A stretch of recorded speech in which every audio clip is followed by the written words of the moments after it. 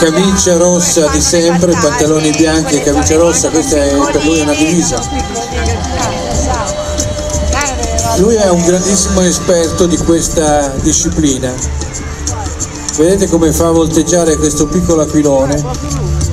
Quello che abbiamo visto fare questa mattina con aquiloni acrobatici a due o quattro fili, cioè il fatto di riuscire a, indirizzare l'aquilone un po' ovunque, di fermarlo improvvisamente, eccetera, le cose che loro riuscirono a fare con quattro fili o due fili, lui lo fa con un filo solo, grazie ad una tecnica che si apprende provando e riprovando e soprattutto che si comincia ad, a praticare fin da bambini, così come ha fatto lui e come fanno i bambini in Afghanistan, cacciatori, i cosiddetti cacciatori di aquiloni.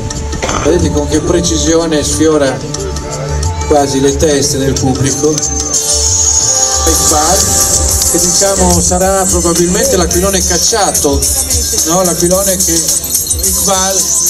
fate molta attenzione perché quello di coso, quello di Wallace, Stafford Wallace è il blu e lo, questa operazione sarà molto veloce nel momento in cui taglierà il filo noi forse il nostro occhio farà fatica addirittura a vederlo. Perché tutto avviene velocissimamente.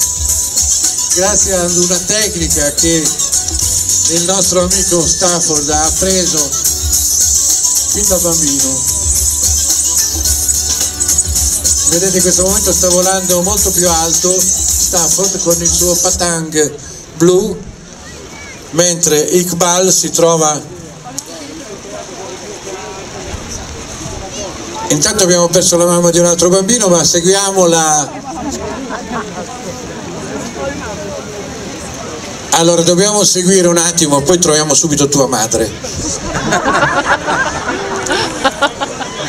Allora, osservate, fate attenzione, l'aquilone blu e l'aquilone rosso, parlo di questi due piccoli aquiloni, a un certo punto stai qui vicino a me che troveremo subito anche la nonna.